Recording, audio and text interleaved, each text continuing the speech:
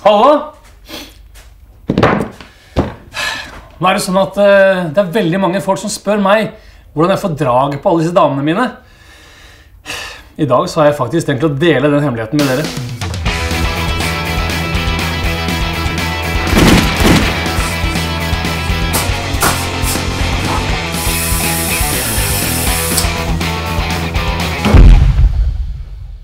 I dag så skal jeg lære deg å lage en seng som du kan ligge i med dama di.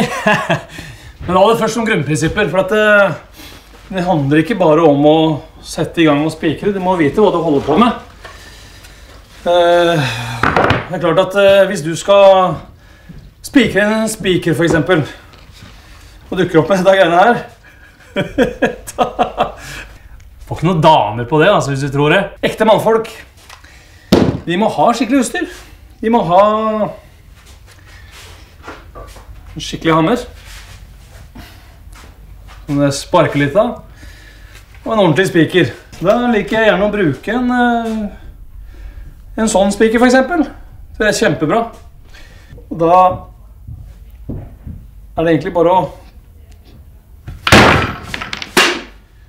Ja, det er eh, Jeg skulle egentlig hatt en sånn der spikerholder. skjønner du, det er eh, men, men det er jo lov å bruke huet, ikke sant? Det er også noe med å være ekte mannfolk og være litt handy. At du, man tager det man haver. Dette er sånn som man lærer med å holde på litt. rann. Litt sånn her triks som man ikke får kjøpt på Jernia. Si. Dette er eh, egentlig en veldig fin måte å sette i gang. Bare få spikeren til å være litt sånn stødig. Sånn. Der. Så er det bare å hamre løs og kose seg.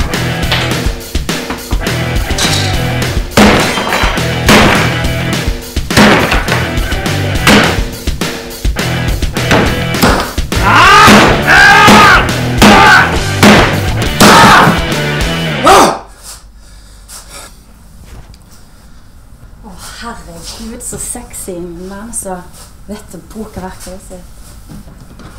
Du ser sliten ut. Vil du ha en massasje? Massasje? Ok. Eller, du, Vent litt, jeg skal bare gjøre ferdig en sånn eh, opplæringsvideo som jeg holdt på med her, så kommer jeg. Hva var det jeg sa? Det funker hver gang, altså. Vi ses, da.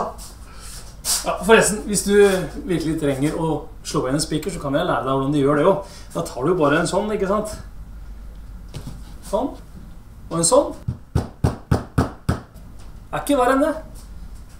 Er ikke størrelsen jeg kommer an på, vet du. Er jo ikke det.